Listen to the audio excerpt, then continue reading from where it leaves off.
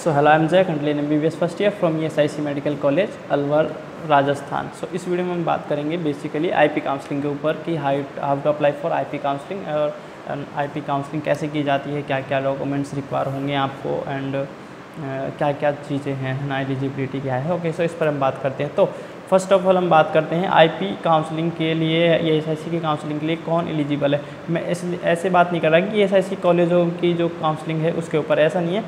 Basically E S I C medical कॉलेजों में भी तीन तरह की सीटें होती हैं, जो आपकी ऑल इंडिया कोटे की सीटें हैं, वो भी स्टेट कोटे की सीटें एंड कुछ आई पी ऑनवर्ड सीटें होती हैं, जो आई पी बच्चों के लिए होती है है ना?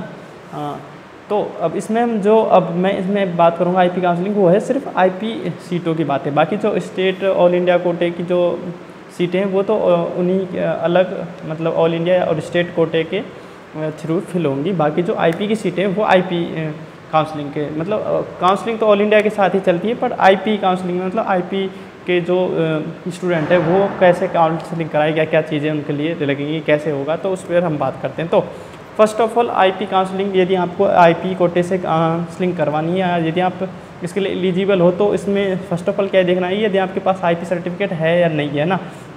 एंड आईपी सर्टिफिकेट होने से वो उसका होना क्या है कि उसके लिए आपको ई एस कार्ड और जो भी वो डॉक्यूमेंट है रिक्वायर उसके लिए वो चाहिए, है ना?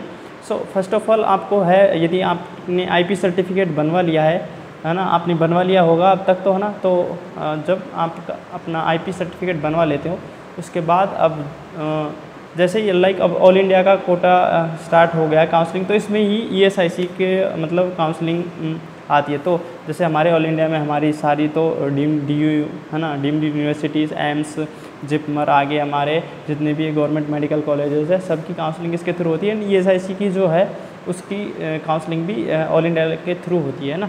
सो so, अब यहाँ पे जब आप अब जैसे ही ऑल इंडिया की काउंसलिंग स्टार्ट हुई जैसे तो अब क्या है कि अब आपको एम सी साइट पर जाना है है ना? एंड वहाँ पे आपको रजिस्ट्रेशन करना है। जो भी रजिस्ट्रेशन की आपकी डेट है आई है उस पर आपको रजिस्ट्रेशन वहाँ पे करवाना है। रजिस्ट्रेशन में आपको E S I C card number आपके लगते हैं वहाँ पे है ना? एंड जब आप वहाँ पे रजिस्ट्रेशन कर लोगे, वहाँ पे फॉर्म आता है एप्लीकेशन फॉर्म है ना? रजिस्ट्रेशन फॉर्म आपको फिल कर दोगे तो आपके पास जैसे आप अपना उसमें कार्ड नंबर वगैरह डालोगे ना तो आपकी सारी डिटेल्स उसमें आ जाएँगी। वो क्यों आएँगी? वो इसलिए आएँगी कि तब आपने आईपी सर्टिफिकेट बनवाया था तो वो जो सारी इन्फॉर्मेशन थी ना, वो आपकी यूनिवर्सिटी ने, है ना या फिर जो एमसीसी के पास वो चली गई थी ई e के थ्रू है ना? ई e वो एमसीसी के पास चली गई थी। तो जैसे ही आप मतलब वो फिल करोगे ना, वहाँ पे ई एस कार्ड वगैरह नंबर तो आपकी सारी जितनी भी डिटेल्स थी वो सारी आ जाएँगी। जो भी डॉक्यूमेंट्स आपने लगाए थे तब आईपी सर्टिफिकेट बनवाने के लिए तो वो सारे डिटेल्स उसमें आ जाएँगे ना। तो आपने एम क्या करना है कि जो भी रिक्वायर आपकी डेट आई, उसमें आपको फॉर्म फिल मतलब वहाँ से आपको वो रजिस्ट्रेशन किया, जिसमें आपने वो एस कार्ड नंबर एंड कुछ रिक्वायर्ड डॉक्यूमेंट्स जो भी मांगेंगे तो वो आपको कर देने, है ना? मतलब उसमें फिर आपको सारा वो खुल जाएगा। तो मतलब आपने आईपी सर्टिफिकेट बनवाने के टाइम पे जो जो भी उसमें डॉक्यूमेंट्स लगाए थे, वो सारे वहाँ पे फिल, खुल जाएँगे। देन आपको पेमेंट कर दिया जाना लाइक पचपन सौ रुपये होते हैं एस टी के लिए एंड दस ग्यारह हज़ार के समथिंग होते हैं जनरल के लिए। वो आपको जितना भी पेमेंट है, वो आपको रिक्वायर पेमेंट कर देना है है ना? एंड पेमेंट करने के बाद है, वो आपका रजिस्ट्रेशन है, वो कंप्लीट हो जाएगा। उसके बाद क्या करना है, उसके बाद हमारी बारी आती है चॉइस फिलिंग की, है ना?